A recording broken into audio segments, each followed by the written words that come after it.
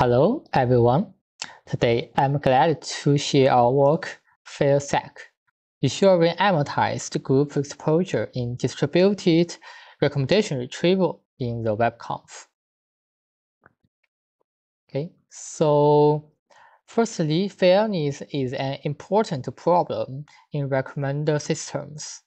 Among the fairness, in this paper, we mainly focus on the amortized fairness which means the recommender platform should guarantee a minimum level of exposure to items within a specific period, aligning with the festival or provider requirements.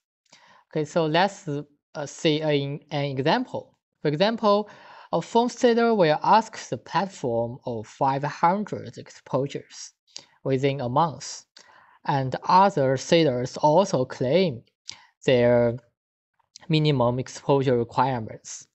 So the question is how to satisfy their needs while also keeping the retrieval accuracy. Okay, so generally, modern industrial recommender systems have two-stage pipeline. In one stage, also named the retrieval stage, it retrieves hundreds of candidates from millions of item corpus. And these items are distributed across various servers. And there are stage two, the ranking stage. The ranking stage presents a small size but accurate selection from items choosing in stage one. It normally choosing 10 or 20 items exposed, exposed to the users.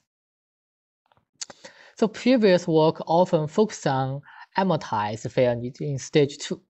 However, in stage 1, if stage 1 is unable to retrieve, retrieve required item categories effectively, it will also pose challenges for stage 2 in ensuring the exposure of certain groups, like this figure.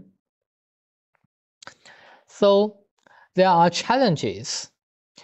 So firstly, the items are distributively stored at different servers. Second, accessing millions of items causes substantial computational cost. So in this paper, we propose a novel retrieval model of FairSync. With local and distrib distributive search, we can still achieve global fairness. So welcome to our talk. We are happy to see you there. Thank you.